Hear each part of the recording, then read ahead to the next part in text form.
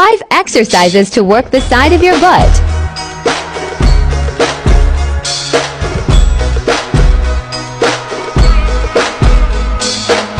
Follow for more.